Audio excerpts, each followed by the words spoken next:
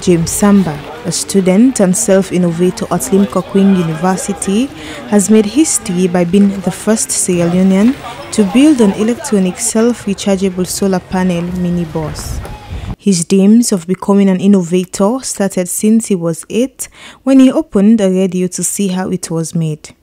The 20-year-old innovator took a step further by creating his own remote-controlled car because his parents could not afford it at that time. At the height of the coronavirus pandemic, he created an automatic hand washing station for frequent hand washing to minimize the spread of the virus. According to James, the dream of creating this bus started in 2020 to help reduce the difficulty in public transportation. This latest invention of James has a special feature like a wireless charging port and a normal USB port at all seats. Of course, I got to know that um, the high cost of public transportation is um, affecting the transportation fare that the general public is um, offering to pay to move from one point to another. That's serving as a major problem. I think an electric car or electric vehicle is needed in Sierra Leone. Khadija, sister and guardian of James, said when her brother started this project, most people thought it was almost impossible for him to accomplish. James uses, let me say, 100,000 to top a week or two in the meter I have at home. Yep. If I buy credit for our meter, James will use, let me say, 90% of it. But with that, I'm proud of him.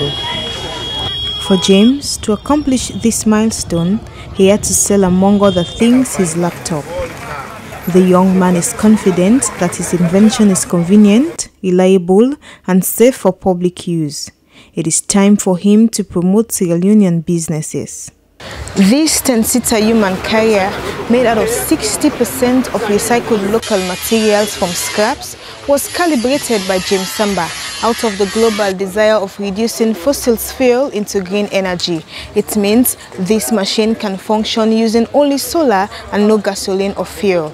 It can go 60 to 80 kilometers an hour and a total range of 150 kilometers when it is fully charged. Unlike other locally or even international vehicles available, this ride, which is so comfortable, provides space for persons with disabilities on wheelchair. I wouldn't want this to be something that's just for a public view, but it's there to solve a problem. I want to plead to government partners, to people um, in the NGOs or NGOs, in order to see this as a solution being made for um, the people of Sierra Leone. Your support is greatly needed in, in, in um, the acceleration of this particular project to another level. During his days in high school, James was an art student who never had lessons in physics or chemistry, but he can now create things even some of the best science students can't. His story is sufficient to make everyone believe they can do anything and everything without fear and with the willpower. SLBC News, Rabia Tumansari reporting.